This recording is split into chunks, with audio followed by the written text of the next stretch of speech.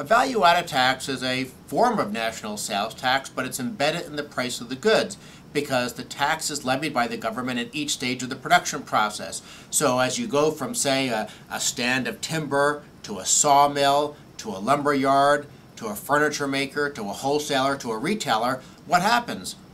Every stage of the process, the government imposes some more tax, and in theory, if you have, say, a 20 or a 25% value added tax like you have in Europe,